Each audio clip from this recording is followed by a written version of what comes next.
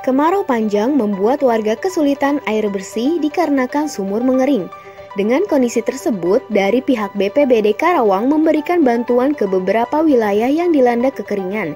Salah satunya Desa Jatilaksana, Kecamatan Pangkalan, Karawang, Jawa Barat. Selama lima bulan, warga sangat kesulitan air bersih. Bahkan tidak jarang warga harus mencari sumber mata air yang bisa digunakan untuk kebutuhan sehari-hari. Dengan adanya bantuan dari BPBD Karawang tersebut bisa membantu warga yang selama ini dilanda kekeringan.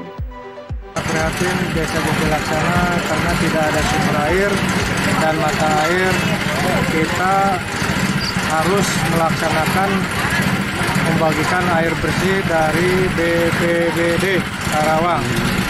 Sudah jalan lima bulan ini kita memasuki musim kemarau benar-benar kepanjangan tahun ini.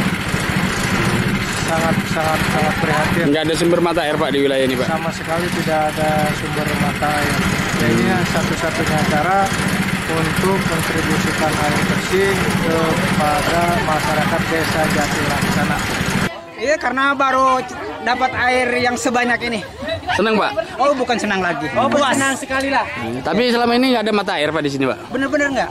Sulit ya Pak ya? Iya iya sulit. Pokoknya ada kayak kalau musim hujan sih ada. Cuman kalau sekarang-karang ini udah lima bulan nggak ada. Jadi sulit banget ya Pak ya? Iya. Yes. Walaupun kita punya sumur kedalaman sekitar 9 meter, tetap nggak ada. Nggak ada ya? Iya. Senang Pak ya dengan adanya bantuan air oh, Pak? Oh seneng banget, seneng banget. Terima kasih.